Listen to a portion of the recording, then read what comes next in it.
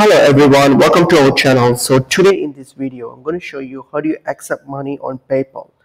So if you want to receive money or accept money on PayPal, so all you have to do is you go to create an account, a PayPal account. So to create a PayPal account, all you need is just an email address. So with an email address, you can create your PayPal PayPal account. So whatever email address that you're using to create your PayPal account is your PayPal email ID as well. So you need this PayPal email ID in order to receive payments. So once you have created your account, log into your account. So once you have logged into your account, then you can receive someone, you can like send your PayPal ID or your PayPal email address to someone and then ask them to send the funds to this email, uh, to this email or PayPal ID. And in that way, you can receive funds. For example, if you're sending something, for example, if you click on send, right if someone is sending you money if they click on send and then all they have to do here is here just type in your paypal id so whatever your paypal id is for example all right so just type that in. So whatever your id is just give them your id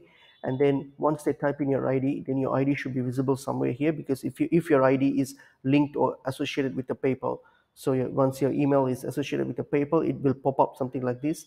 Then all they have to do is select your your uh, PayPal ID and then select, I mean, type in the amount that they, they wish to send or you, or you wish to receive and then click on continue. And that's pretty much it is though. That's how you receive uh, funds on, e on, on PayPal by using your PayPal ID. So all you need is just an email address, which is your uh, PayPal ID. So I hope this information is helpful to you guys.